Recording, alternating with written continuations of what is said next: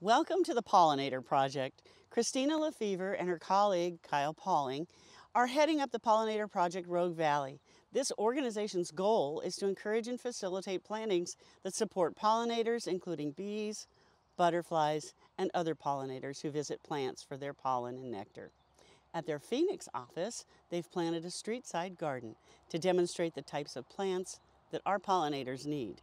Here's Kristina to tell you about it. Hi, this is Kristina Lefever.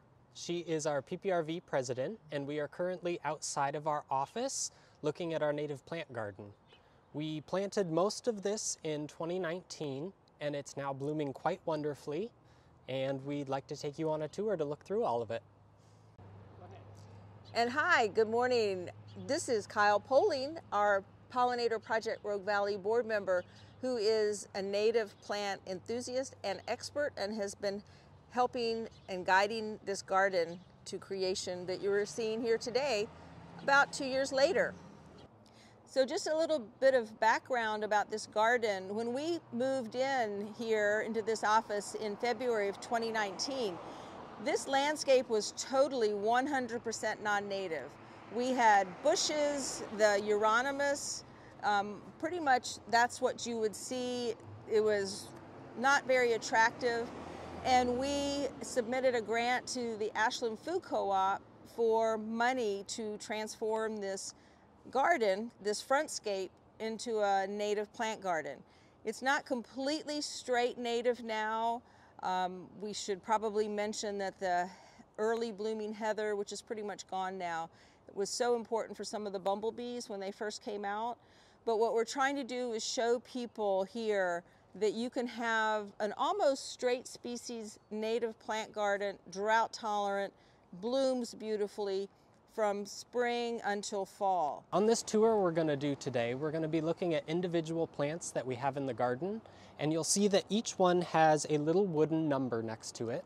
And if you come by the office, we have these wonderful little guides printed out where you can do a self-guided tour and learn about each one of these plants in detail. They've got wonderful information about their growing requirements, what pollinators they support, and we would really urge you to come give us a visit. So this plant here is Grindelia nana, also known as the Idaho gumweed. And although it's not blooming yet, this is another plant that we'd really like to highlight because it's such a wonderful late season pollen and nectar source.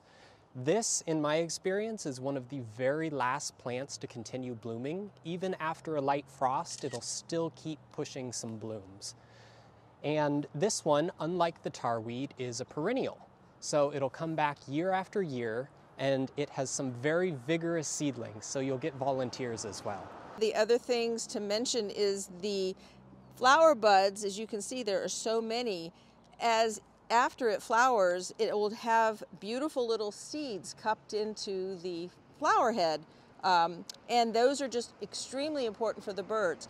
So we left almost all the seeds heads intact except for what we collected to grow out, which we were very successful with.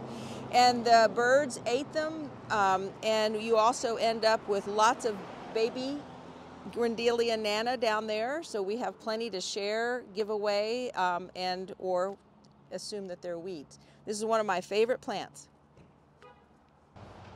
This plant here is called the silver bush lupin or Lupinus albifrons, and it is one of our most beautiful lupins in my opinion.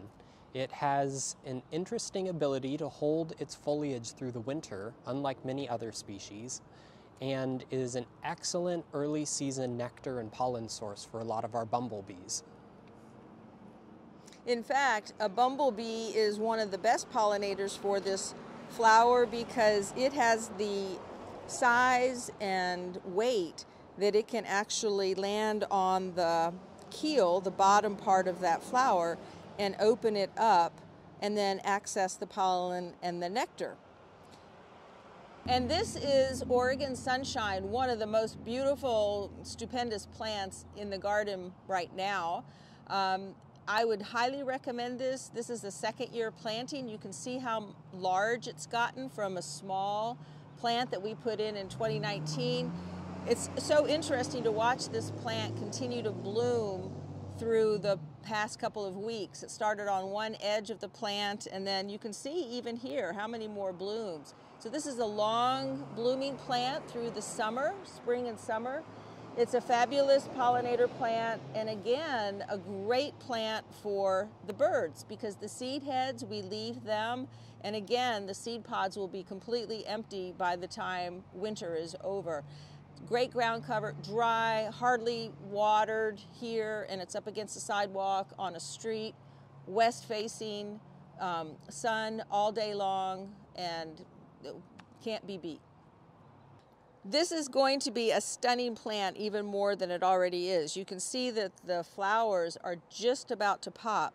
Last year we had four beautiful blooms. You can find that on the video on our website about this exact same plant. And you can see this year it has what, 10 to 12 flower stalks that are going to be absolutely gorgeous. It's amazing how, how the penstemon colors are just so iridescent and um, changing as you look at the flower itself. This is really a great plant for pollinators as well. Um, the bumblebees love it. The small native bees can get in there and access the pollen and the nectar. Uh, hummingbirds, I'm presuming, will also go for it. This is a perennial. It always stays green, but of course the flower stalks are not there. Um, and so it will die down. Um, this will die down. We cut the flower stalks, we harvested seed, and we're actually growing some of these as well. So this plant here is called the sulfur flowered buckwheat. And this plant is notable for being very drought tolerant and also a great host plant for a lot of butterfly species. So that means that the butterflies will come and lay their eggs on this plant and the caterpillars specialize on this species and genus and they can only eat this plant. Unlike the, the monarch butterflies, a lot of people don't know that there are many other species of butterflies and moths that are also equally as specific. They need a particular plant to raise their young. And species in the Eriogonum or buckwheat family are really good for that. They're great host plants. And then I just wanted to mention that behind Kyle is another Penstemon humilis that is just about to bloom. So you can see the small flower heads that are there. That is just going to be amazing. It did not bloom last year. Wanted to just point out our one native grass. This is a bunch grass. This is Roemer's fescue. How do you say it in Latin?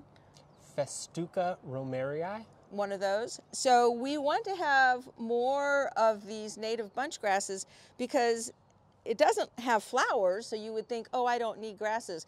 But actually, native grasses are just excellent host plants for many of our native butterflies, moths. It provides overwintering cover for beneficial insects, and also bumblebee nests will go under there. Mm -hmm.